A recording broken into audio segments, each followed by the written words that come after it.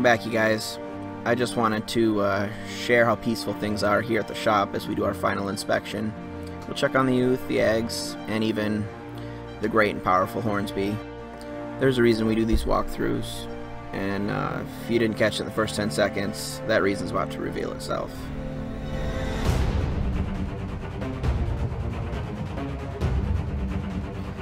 Keeping mantids definitely has its downsides, especially when you're trying to sleep.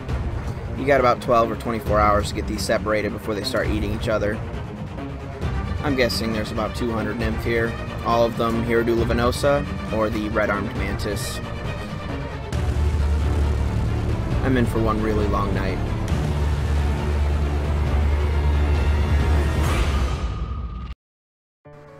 I'll be honest, I was a little mad at first when I saw this and I was trying to call it a night.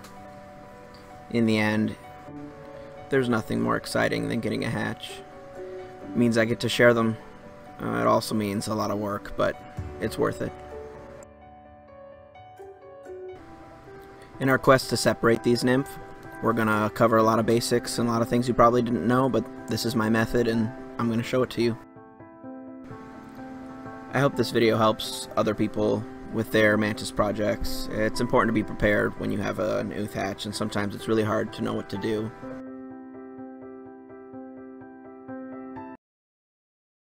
You're going to need some sort of screen cage. Uh, these net cubes I find work the best.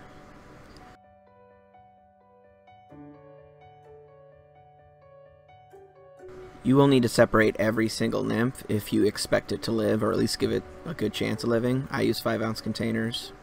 Hopefully you pre-stage some fruit fly cultures. These do not have flies in them, and that can be bad. You're going to want to seed some new ones as soon as your nymph hatch, and hopefully as soon as you got your ooth, you went ahead and started to seed and stage fruit fly cultures to use. This fly culture is about three weeks old. If you don't have fruit flies when your mantids hatch, they can starve to death within a day or two. In order to properly utilize those fruit fly cultures, you're going to need petroleum jelly, paper towels, and a 32 ounce cup. Really quickly, I'm going to apply some petroleum jelly to the 32 ounce cup and create a feeding cup. If you do a good job, then the petroleum jelly will stop the flies from crawling out and walking.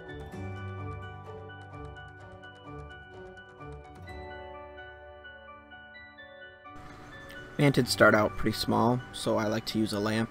Um, make sure you have a well-lit area before you get started. This one has a magnifying glass, which I find pretty useful. You're also going to want to use a flat paintbrush and some scissors. You're going to use the scissors to cut up the paper towels to create a shedding surface between the lid and the cup of your containers. It's very important to get them the right size so they don't get trapped underneath the lid and the paper towel.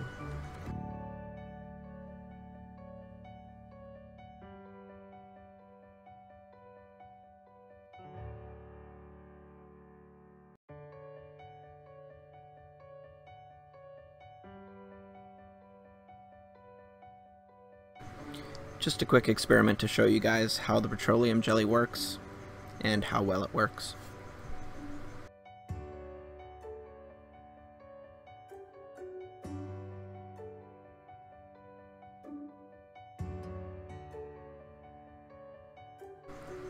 When they are first born, they're going to be thirsty, so you got to have your water bottle ready, along with your fruit flies.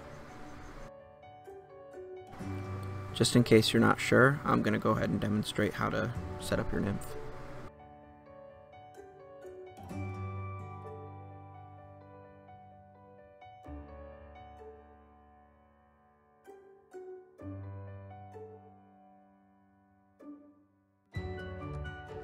Once we've gathered all the supplies that we need, we're ready to start separating the nymph. Uh, this is a very delicate process because you don't want any to escape, and you also don't want to squish any using the lid of the container.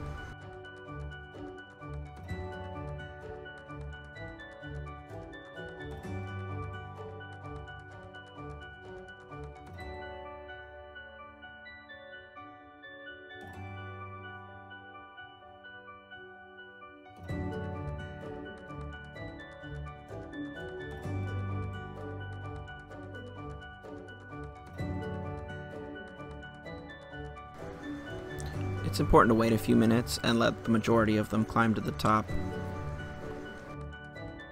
You can speed things up by adding a light at the top of the container. They are attracted to the light. That's all you need to know and now you're ready to start separating.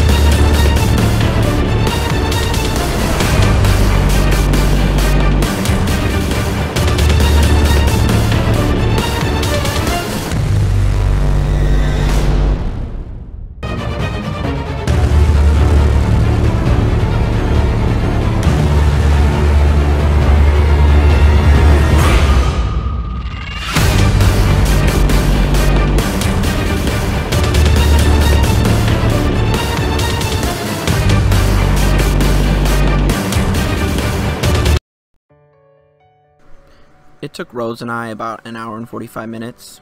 That's not really fair, taking into account that uh, we've been doing this a while. In total, there were 236 nymph.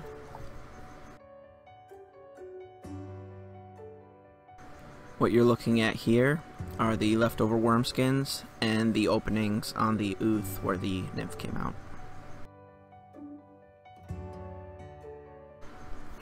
Well, I hope you guys enjoyed that video. Please like and subscribe and hit that bell icon for me. If you guys want to follow the Ant to Adult series and include the Hierodula venosa that just hatched, uh, let me know in the comments below. Otherwise, let me know what you guys think. Um, have a good night. Bye.